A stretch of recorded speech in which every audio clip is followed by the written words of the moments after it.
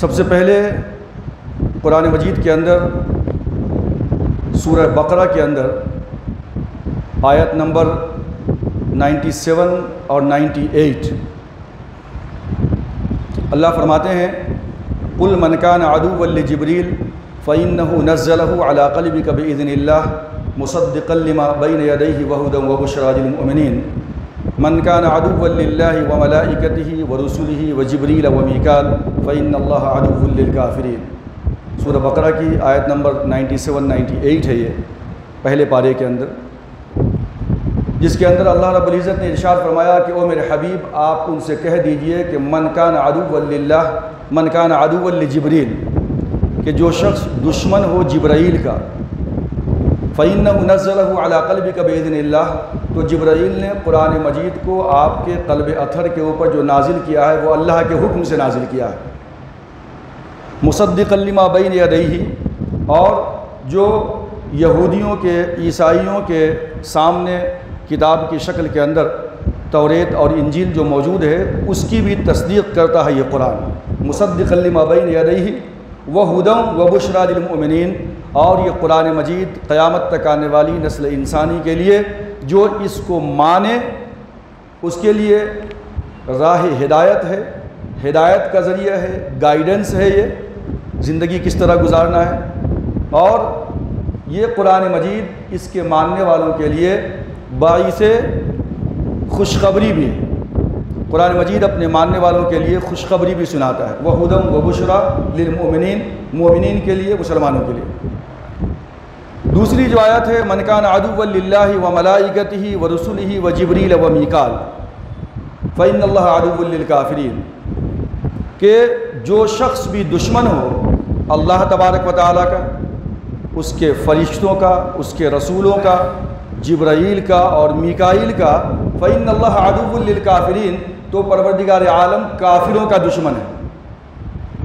جو کافر اللہ سے دشمنی رکھے، رسول سے دشمنی رکھے، فرشتوں سے دشمنی رکھے، جبرائیل سے دشمنی رکھے، میکائیل سے دشمنی رکھے، اللہ تبارک و تعالیٰ بھی اس کا دشمن ہے۔ اس آیت کے نزول کے متعلق علامہ ابن کثیر نے تاریخ الخلفاء کے اندر اس بات کا ذکر کیا ہے کہ حضرت سیدنا عمر الفاروق رضی اللہ تعالیٰ عنہ کے دوستانہ مراسم اور تعلقات یہودیوں کے ساتھ ہو گئے تھے۔ ان کا زیادہ آنا جانا تھا یہودیوں کے پاس۔ حضرت عمر ابن خطاب فرماتے ہیں کہ اس کی وجہ یہ تھی کہ وہ یہ جاننا چاہتے تھے کہ کس طرح قرآن مجید، تورات اور انجیل کی تصدیق کرتا ہے اور کس طرح تورات اور انجیل قرآن مجید کی تصدیق کرتا ہے۔ یہ جاننے کے لیے حضرت عمر الفاروق رضی اللہ تعالیٰ عنہ یہودیوں کے پاس جایا کرتے تھے۔ ایک دن کا واقعہ ہے کہ عمر ابن خطاب یہودیوں کے پاس گفتگو کر رہے تھے اور اچانک قریب سے نبی آخر الزما جناب محمد رسول اللہ صلی اللہ علیہ وسلم کا گزر ہوا۔ یہودیوں نے کہا کہ وہ عمر، تمہارے رسول یہاں سے جا رہے ہیں۔ عمر ابن خطاب نے کہا کہ ٹھیک ہے، پھر میں بھی چلتا ہوں، لیکن جانے سے قبل میں تمہیں قسم دیتا ہوں تمہاری اپنی کتاب کی۔ اور جو تمہارے دل کے اندر ہے، تم اپنی اس کتاب کو مانتے ہو، اپنی اس کتاب کی قسم کھاؤ کہ تم جو ہے محمد رسول اللہ صلی اللہ علیہ وسلم کو رسول تسلیم کرتے ہو یا نہیں۔ وہاں پہ یہودیوں کا بہت بڑا عالم بیٹھا ہوا تھا۔ یہودی کے عالم نے کہا کہ جواب دو۔ عمر نے قسم دے رکھی ہے، بڑی بڑی قسم دے رکھی ہے۔ لوگوں نے کہا کہ آپ ہی بڑے عالم ہیں، آپ ہی جواب دیجیے۔ تو اس جو ہے، یہود کے عالم نے کہا کہ ہم رسول اکرم صلی اللہ علیہ وسلم کو اللہ کا نبی تو تصور کرتے ہیں۔ ہم جانتے ہیں کہ یہ اللہ کے نبی ہیں، اللہ کے رسول ہیں۔ تو عمر بن خطاب نے کہا کہ جب جانتے ہو تم مانتے کیوں نہیں ہو؟ اب ان لوگوں نے وجہ بتائی کہ ہم نبی کو جانتے تو ہیں، محمد الرسول اللہ کو جانتے ہیں کہ یہ اللہ کے رسول ہیں، یہ آخری نبی ہیں، لیکن نہ ماننے کی وجہ یہ ہے کہ نبی آخر الزما کے پاس جو اللہ کی جانب سے میسج لانے والا فرشتہ ہے، جو اللہ کا پیغام لانے والا فرشتہ ہے وہ جبرائیل ہے۔ اور جبرائیل ہمارا دشمن ہے۔ اس لیے ہم محمد رسول اللہ کو اللہ کا رسول اور اللہ کا آخری نبی تسلیم نہیں کرتے۔ آپ کو معلوم ہونی چاہیے کہ جبرائیل کو دشمن یہ کیوں مانتے ہیں؟ یہودی حضرات۔ اس کی ایک وجہ یہ بتائی جاتی ہے کہ آپ کو معلوم ہے کہ یہ جو یہودیوں کا جس کو ان کا جو ٹیمپل کہا جاتا ہے، آج بھی جہاں وہ مسجد اقسا کے ایک حصے کے اندر نیچے جو ایک وال ہے جہاں پہ جا کر کے روتے ہیں گر گراتے ہیں، اور وہ سمجھتے ہیں کہ اس کے نیچے ہماری مسجد ہے، ہماری عبادت گاہ ہے۔ یہودیوں کی عبادت گاہ کو، جس کو حضرت سلیمان علیہ السلاۃ والسلام نے بنایا تھا، یا پھر اس سے قبل داؤد علیہ السلام کے زمانے میں بنایا گیا، اس کو عراق کا جو بادشاہ تھا، بخت نصر، اس نے ڈیمالش کیا تھا۔ چھ لاکھ یہودیوں کو قتل کیا تھا اس نے۔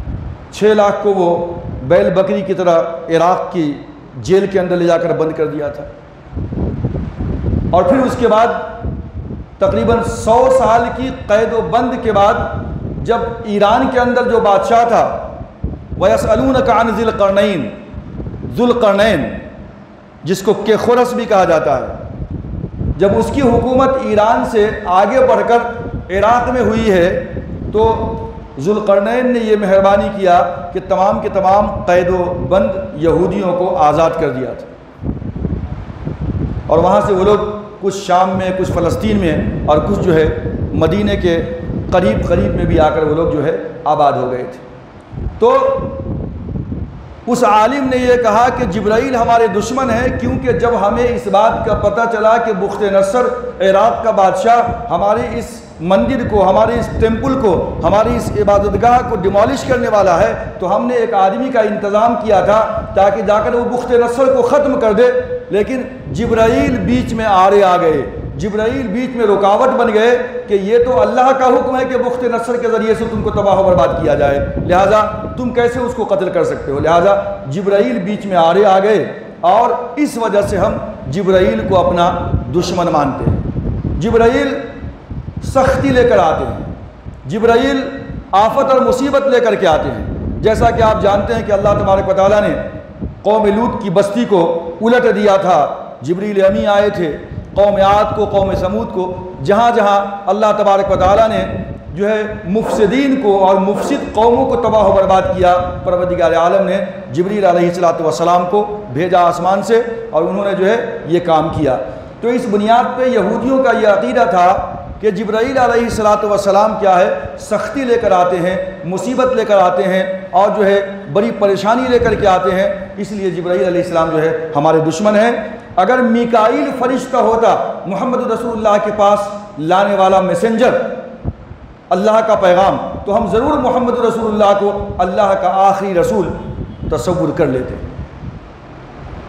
یہ وجہ جو ہے یہودیوں نے اور یہود کی عالم نے بیان کیا اور حضرت عمر فاروق رضی اللہ تعالیٰ عنہ نے جب سنا تو ان کی زبان سے یہ الفاظ نکلے کہ جو جبرائیل کا دشمن ہے، وہ اللہ کا بھی دشمن ہے اور جو رسول کا دشمن ہے، وہ اللہ کا بھی دشمن ہے۔ اس طرح کے الفاظ زبان عمر سے جاری ہوئے یہودیوں کی گفتگو کے بعد اور حضرت عمر بن خطاب یہودیوں کے پاس سے رسول اکرم صلی اللہ علیہ وسلم کی محفل میں تشریف لائے اور جبریل امین نے سورہ بقرہ کی آیت نمبر نائنٹی سیون نائنٹی ایٹ نازل فرما دی اور عمر تشریف لائے اور زبان محمدی صلی اللہ علیہ وسلم سے یہ آیتیں اسی وقت جاری ہوئیں قل من كان عدوا لجبريل فإنه نزله على قلبك بإذن الله مصدقا لما بين يديه وهدى وبشرى للمؤمنين من كان عدوا لله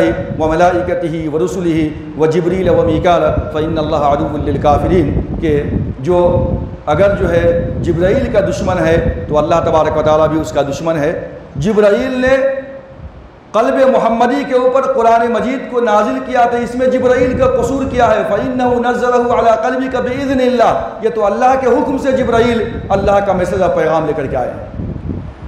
لہٰذا جو جبرائیل کا دشمن ہے وہ اللہ کا دشمن ہے، جو فرشتوں کا دشمن ہے، رسول کا دشمن ہے میکائل کا دشمن ہے اور جبرائیل کا دشمن ہے، فَإِنَّ اللَّهَ عَدُوٌ لِلْكَافِرِينَ۔ یہی وہ الفاظ تھے جو زبان عمر کے اوپر یہودیوں کی گفتگو کے بعد جاری ہوئے تھے اور وہی الفاظ تقریباً جو ہے ہو بہو اللہ تبارک و تعالیٰ نے قرآن مجید کے اندر نازل فرما دیا۔